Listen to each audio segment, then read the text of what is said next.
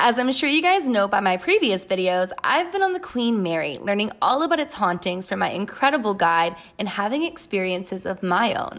For today's video, I wanted to give you guys the once in a lifetime opportunity of heading into all the haunted corners of the Queen Mary and hearing the stories straight from my guide. Oh, and the letter of the day is Y.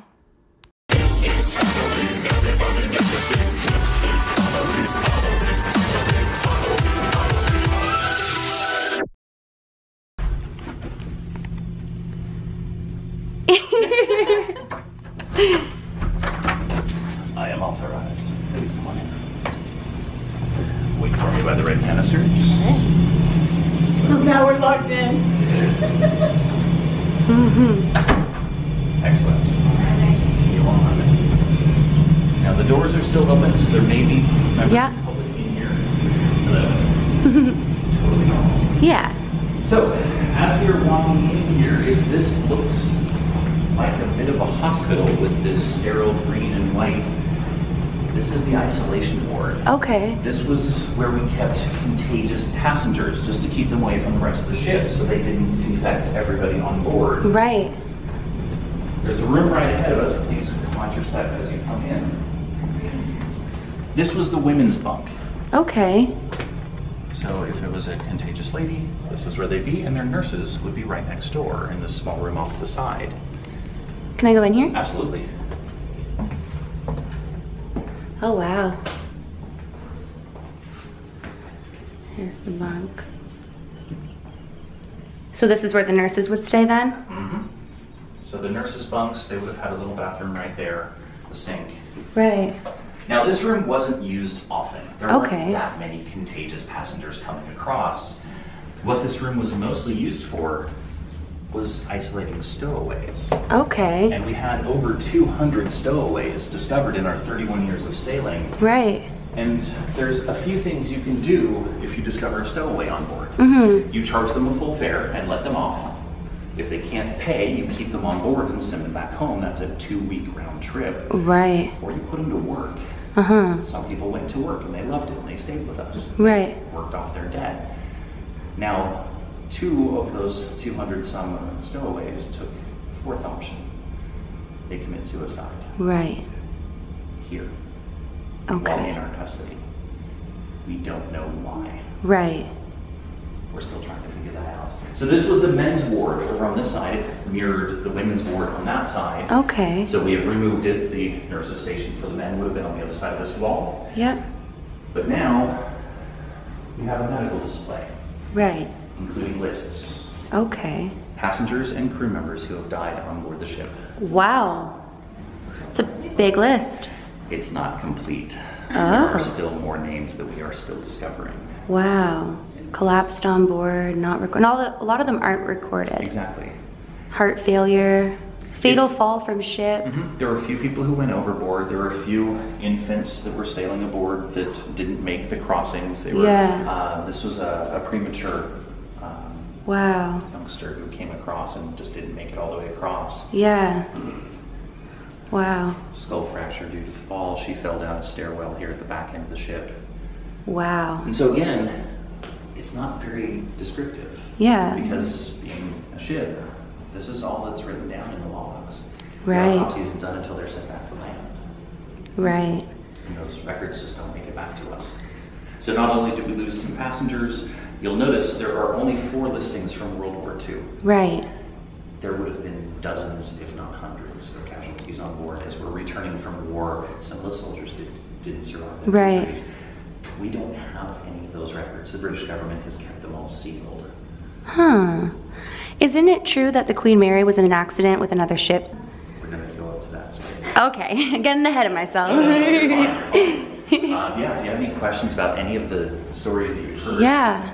Rescues at sea. Yes, so we had a full service hospital on board our ship. We were so large, we carried 2,000 passengers. We needed a full hospital. Right. If a smaller ship had an injured passenger that they couldn't treat, we could pull up alongside, bring them on board our ship using a cradle. bring Yeah. them on board, treat them, and send them back on their way. Wow. So that would happen every once in a while. Here you can see a photograph Yeah. of some of our crew members hoisting someone up from another ship. Wow. It's crazy. That would be so scary being transported in that. Especially since the boat deck, the uh, sun deck, is about 75 to 80 feet above the water line. Wow. So you got to be raised in that. You're going to be in that Dang. for a while. So basically, somebody would just be strapped in here and lay on their back and be hoisted straight. Oh my goodness. That would be terrifying. Yeah. Wow. So we've also, unfortunately, it's a workplace. Mm-hmm. We've lost some crew members on board as well. The very first fatality that we had on board the ship was our first voyage, Mm-hmm. heading back to England. Able seaman Arthur J. Golden, scrubbing the deck, two o'clock in the morning, slipped and fell, cracked his skull. Wow. The last fatality that we had was coming here to Long Beach. Uh huh. First voyage, last voyage. Wow. Now, because our ship is as large as it is, we can't fit through the Panama Canal, and so we had to go all the way around South America and come all the way back to the mm-hmm. other side. That's crossing the equator twice in a ship that wasn't really built with air conditioning. He had heat stroke, Wow. brain hemorrhage due to that. Oh my goodness. Yeah. That's crazy. Oh, the crushed in the watertight door. That's that's one of the like noted hauntings. Yes, we're heading there as well. The cruise industry, they don't advertise this. They lose about 200 passengers a year. Right. Oh, wow. play the numbers. Yeah. It's it's odds. Um, so about 200 people die a year on cruise ships, and so you have to have facilities for them. We didn't. Ships of our era just weren't built in with that, so we had to make do. There's two hatchway doors right here. Mm-hmm. Those doors led into our storerooms for the ship, Right. the kitchen storeroom. Mm-hmm. So you go through those doors, you go forward, and that would have been vegetables and fruit. You go through the doors and come this way. This was the freezer. Right. Ice cream, ice, beer, With the dead people. makeshift Awesome. morgue. Oh. Could right there. Oh my goodness. There's two things you can do if you die at sea be brought back to land or be buried at sea. If you were a crew member, you told them ahead of time when you took the job what your last wishes were, just in case. Wow. And so we did have a number of crew members who were buried at sea because that's what they had requested. Right. If a passenger died, we would call ahead to their next of kin and ask them, do you want us to bring the body back or bury them at sea with full honors? Most off, offered for the return. Again, do you watch your step. Yep.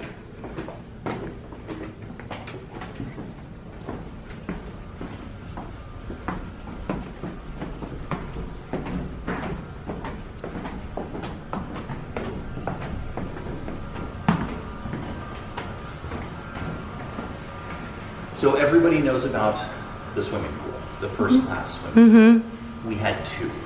There was a second class swimming pool. It was right here. It is now the 4D theater. So the theater is built on top of the tank of the pool. Right. And everybody's heard about the first class dressing rooms for their pool. It's the home of the vortex. Mhm. It's an area of energy that allows spirits to visit. The second class dressing rooms were right here. Now, we don't have a record of anyone drowning or dying in the pool. You saw the list upstairs. There's no little girl named Jackie on it. Mm-hmm. We don't know where she came from. But Okay. there's a theory that you don't have to die somewhere to haunt a place. Okay. It could be a place you absolutely loved being. Mhm. And so maybe she loved the pool, and after she passed away of natural causes, she found her way back to us. Yeah. Some people think she might have even been a second class passenger and upgraded. To Mm-hmm. I heard that. Yeah. Never know. So that's the second class pool right there. Have you ever heard Jackie? I have not. Um, I've never seen anything that I can't explain, but I've had a few experiences on board. Right. Um, I'll tell you one once we get to the space where it happened. Okay. Um, but if I see a little girl running around the corner, giggling, uh, I'll tell you about the collision once we get to the forward end of the ship. Um, but we did collide with another ship during World War II. 338 men were killed in that collision, all on board the other ship. I'm going to take you to a room that creeps people out. Okay. It's the propeller box, the last remaining propeller still attached to the ship. We're going to leave the Queen Mary. We're going to go outside, look down into the water. Some people have an uneasy feeling here, and they equate it to that collision. with some of those men. Got it. Color. Okay.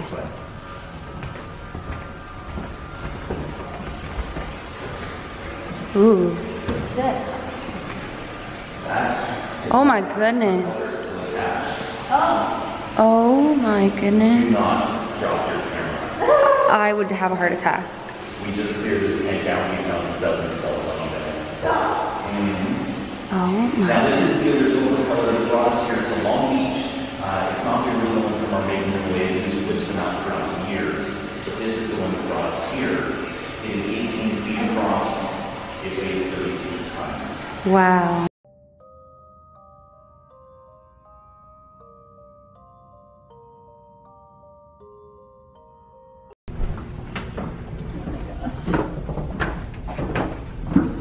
I'm waiting for it to start.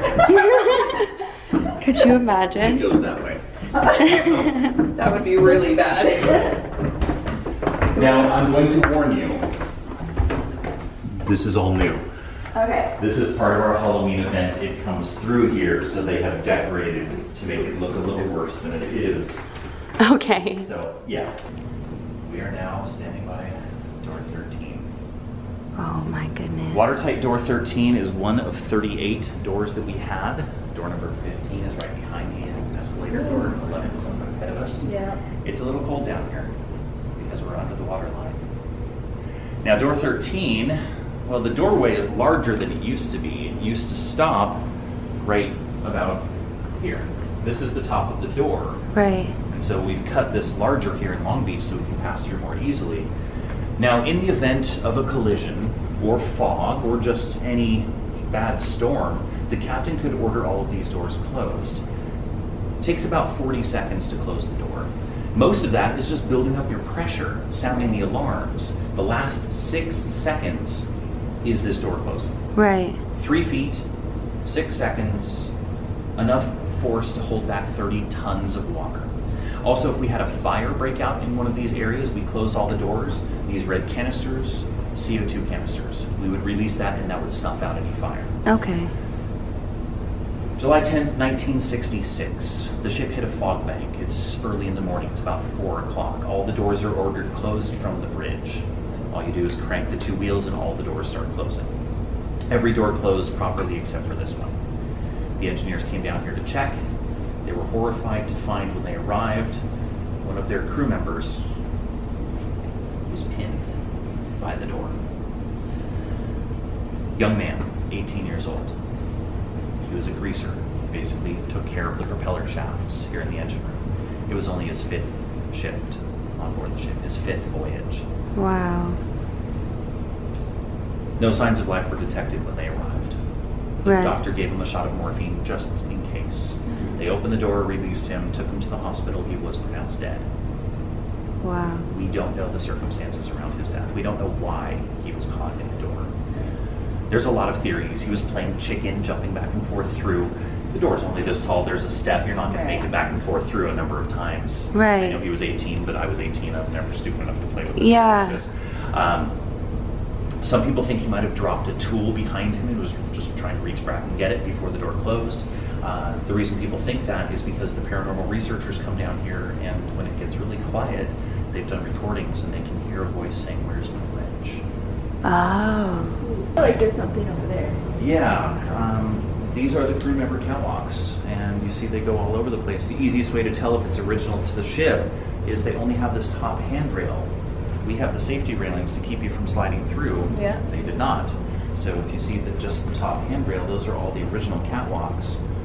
Um, they have seen bearded crew members, young bearded crew member walking on the. Wow.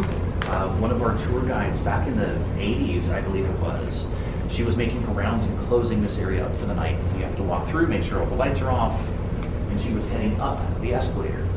And about halfway up this first one, she turned around because she felt like she was being followed, and there was a man on the escalator riding with her.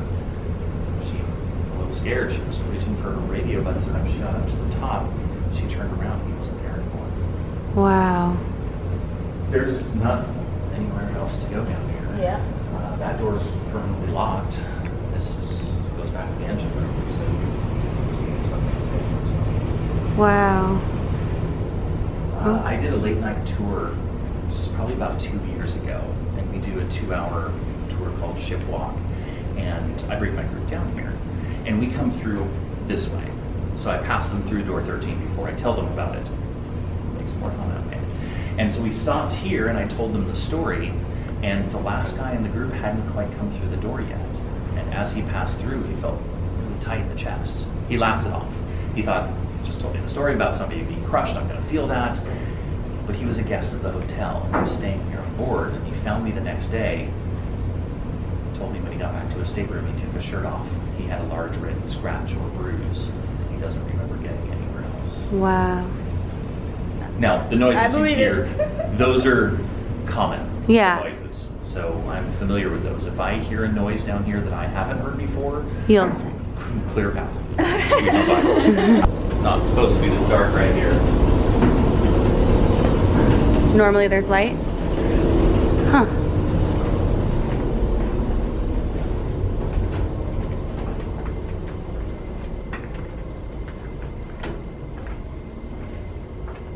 That's a new noise. That was a new noise? That high pitched machine whirring. I've never heard that one before.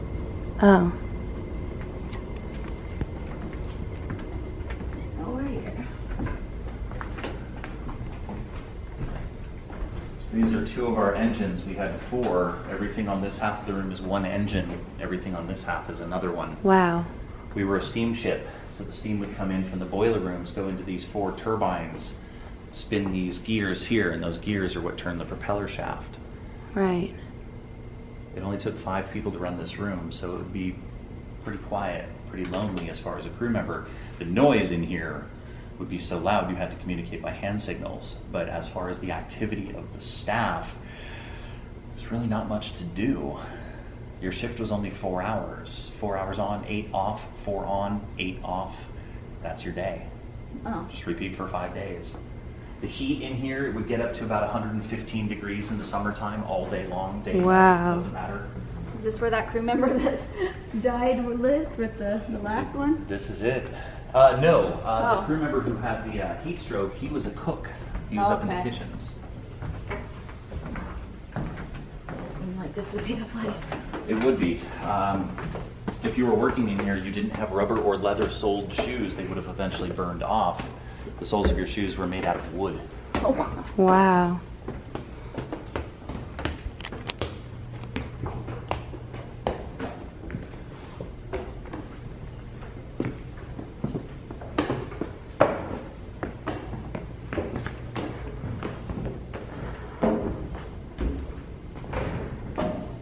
So from here, you can get a better view of some of the machinery that we have. Yeah. Again, this is all one engine on this side. This is the gear case right here. That main gear that turns the propeller is 14 feet tall and weighs 53 and a half tons. Wow. You know, no big deal. hmm where's the, we saw the orb here? Yeah, right here. Earlier, there was an orb here. Interesting.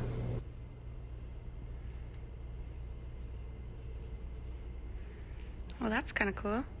An orb.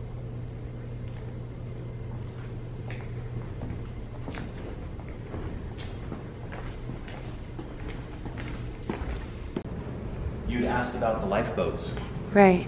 We have this one here. Uh, it's the same vintage as the Titanic's lifeboats. This was built at about the same time in about the same shipyard. From the White Star Line. This is the last White Star Line lifeboat in existence. Wow. It came off a smaller ship called the SS Nomadic. Yeah. It's a tender ship. It's 200 feet long.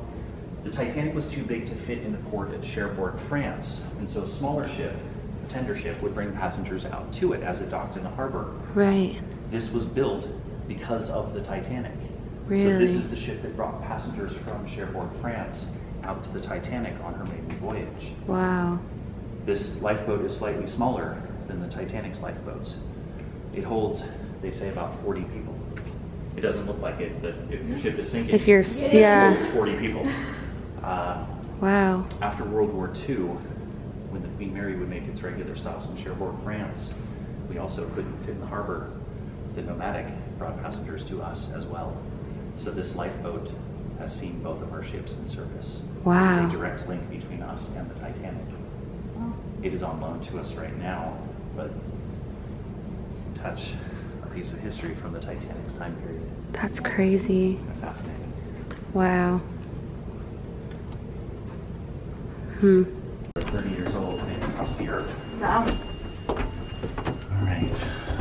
Oh, this isn't sketchy at all. Yeah. Again, this is Spooky. our one crew member elevator that we have, so the fabric has been put to protect the wood veneer that's underneath it. This is all the original woodwork inside. It's only an 85 year old elevator. That's only, yeah, yeah. that's it.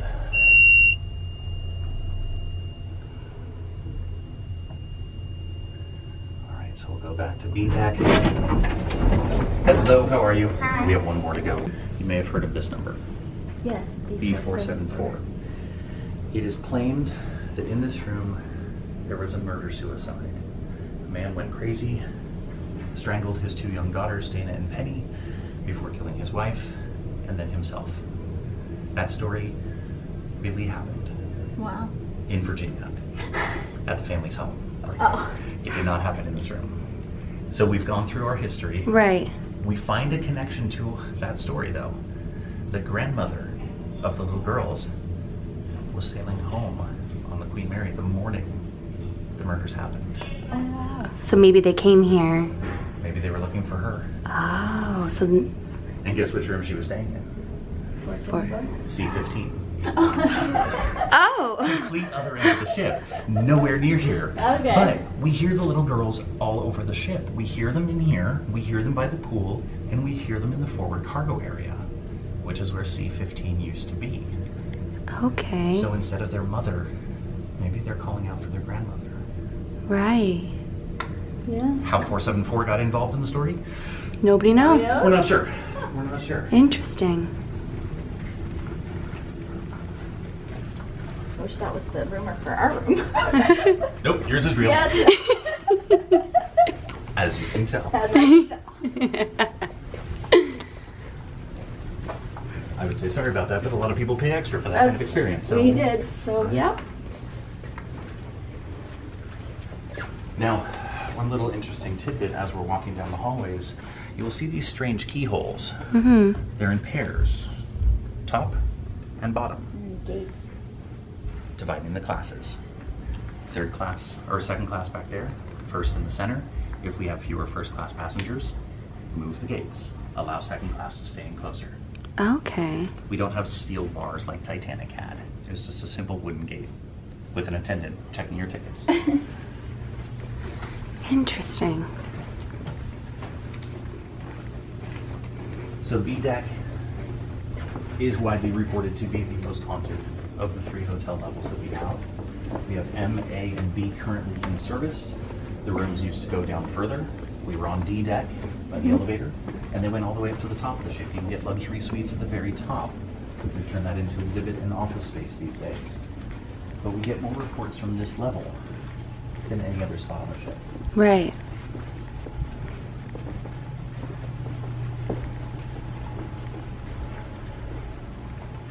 And no, we did not film The Shining on the ship. We filmed happier movies on board, like The Poseidon Adventure. Okay. Mm-hmm. The reason The Poseidon Adventure was filmed on board the ship is because we inspired the original story. Because during World War II, we were struck by a rogue wave that measured approximately 92 feet in height. That's the height of the bridge from the top, uh, from the waterline. We went 52 degrees off vertical. They say at 55 degrees, our ship would have rolled over. Wow. There were 15,000 sailors on board, soldiers, World War II. They would have all been lost. Right. There's a feature in the hallways that was not with us on our maiden voyage. Handrails. We didn't think we needed them originally, but we became known as the Rolling Mary because of how much we rolled side to side. 20 miles of handrails were installed after our first stormy season. Sorry, Wow. No worries. He's real, don't worry. Not a ghost. Enjoy. Nice. They're down too, I think. Sometimes you just keep walking. Yep. Definitely real. Good. I've heard that in the engine room. You've heard them saying to get out? Yep. Uh, the paranormal investigator that we have, he came in one night and our tours crossed one time and he called me over. He said, I have this great recording for you I just got last week. And he was standing right there between those main gears where we stopped. Yeah. And he said he had set his tape recorder down and they were just having a conversation. And in the middle of the conversation, there was a voice in the recording that they didn't hear while they were standing there. And it just said, Get out. Wow. So we did. We're almost home. You are. Right here. Yep. Mm-hmm. That room's creepy. We're going to keep on moving. All right. I don't want to scratch. there a doll somewhere? Hope not. There's And this next portion, including the haunted doll, has already been posted here on my channel. So make sure for any parts that you feel as though I'm missing in this tour, you check back on my channel because it's probably already been posted or it will be soon. But let's continue. the interesting stuff. I thought that was the interesting stuff. Wow. No jump scares, right? Hope not. He's gone. Not supposed to be any.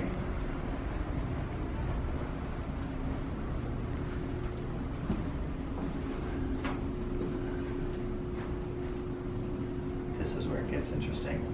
Just watch your step.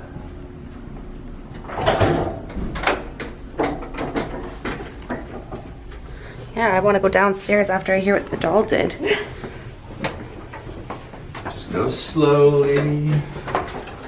The artist tight.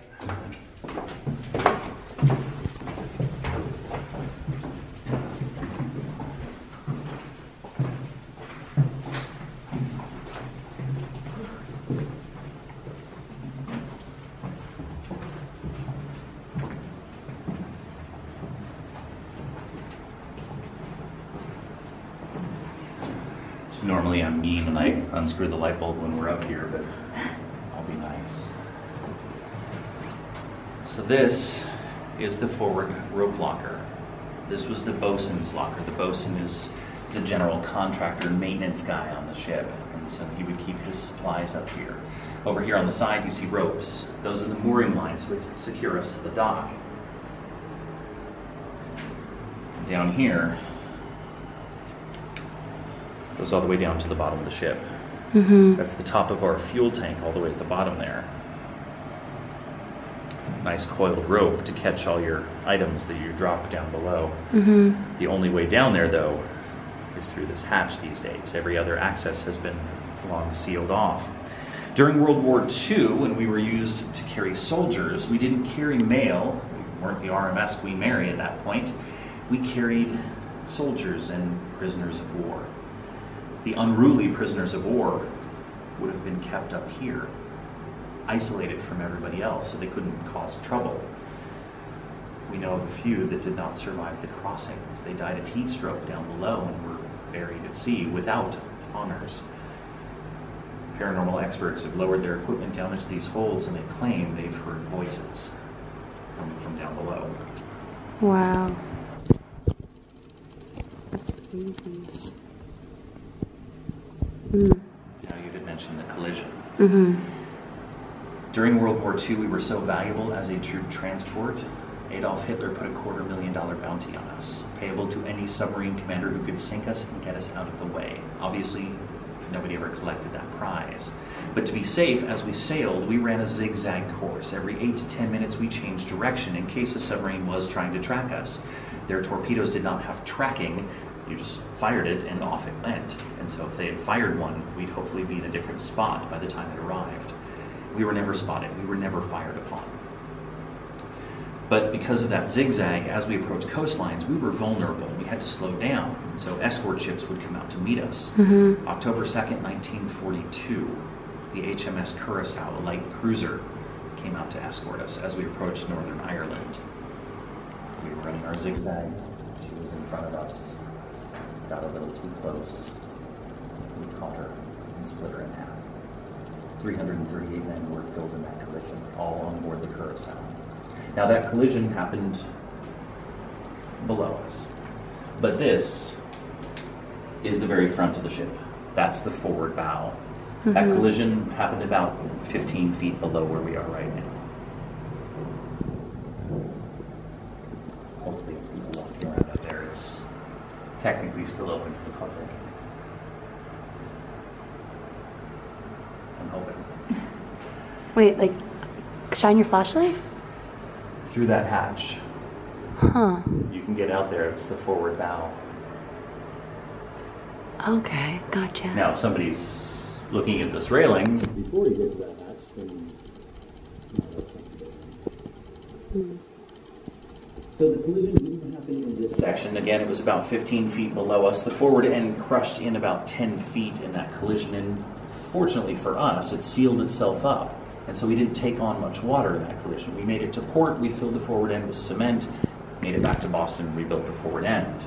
The Curacoa wasn't so fortunate. Of the 439 men on board, only 101 survived. We couldn't stop to offer any assistance because we were too valuable as a ship. The other ships in the area picked up those survivors. Now, paranormal experts that come You in hit a boat and y'all didn't stop. We couldn't. At the speed we were going, it takes about 10 miles to stop. Wow. We would have been long gone. Yeah, Wow. and we were under strict orders not to stop for any reason. Right. That's Uh, crazy. yeah.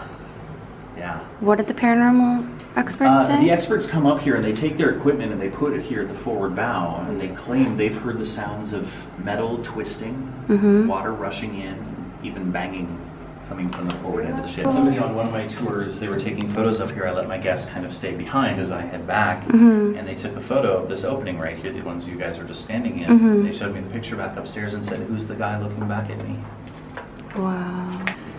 Now, you guys had asked if I had ever seen anything on board the ship. Mhm. I haven't, but I've had experiences. I've been coming here as a guest for a while now. Let's just put it that way. Uh, when I first started coming here, I would take these tours as a guest, and I was up here on the Haunted Encounters tour, and I'm standing in the back of the group and being a bit of a skeptic. I'm like, yeah, sure, right. I just want to see the ship. And so I'm standing all the way in the back. The captain was up here telling the story of the Curacoa collision. I was tapped on the shoulder. I thought I was standing in somebody's way. So I turned and looked down behind me. There was nobody there. Wow. Hair stands up on end. Oh my God, it's all real. I have to keep doing this. Yeah. And so here So I it am. began. It begins. Absolutely. It's Um, crazy. I get chills every time I come up to this part of the show. I did too. which is why I love coming up to this part of the show. Yeah. Absolutely. And Did you come up by yourself? oh yeah, Yeah? oh yeah. Somebody has to reach the light bulbs. It sounds like someone's up there. It does, and like I said, you can go up to where that acrylic is, all the way at the top. It's just if there's anybody between here and there, that's when it gets interesting. Oh,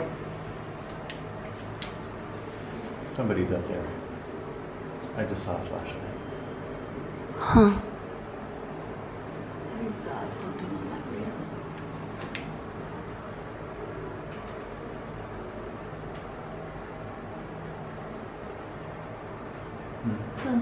Huh. Okay. What was that beeping? I don't know. Hopefully, it was somebody over there taking a picture, but No, it was over here. I did see a flash of something right above us. It's currently called the Caronia Room. Uh, this was a third class movie theater. So this is the stage back here where the tables and chairs are. Uh, the windows behind would open up, they'd drop a screen here, and they would backlight movies, and you could see your third class passengers in here. During World War II, this room was cleared out of the tables and chairs. Bunks were installed all the way up to the ceiling. This room housed about 81 people In this one room. in this one room. Wow. 81 soldiers at a time, and you were only sleeping for six to eight hours, depending on how crowded the ship was, because at the end of your sleeping shift, you had to get out of your bunk because somebody was waiting to get in. Oh, So your bed never cooled off. It was known as the hot rack or hot bunk system. They still use it on some military ships. But yeah, 81 people in this room. Wow. The windows would have all been painted over, uh, battleship gray. Every window was painted so light wouldn't give the ship away at night. You Interesting. can open your portholes.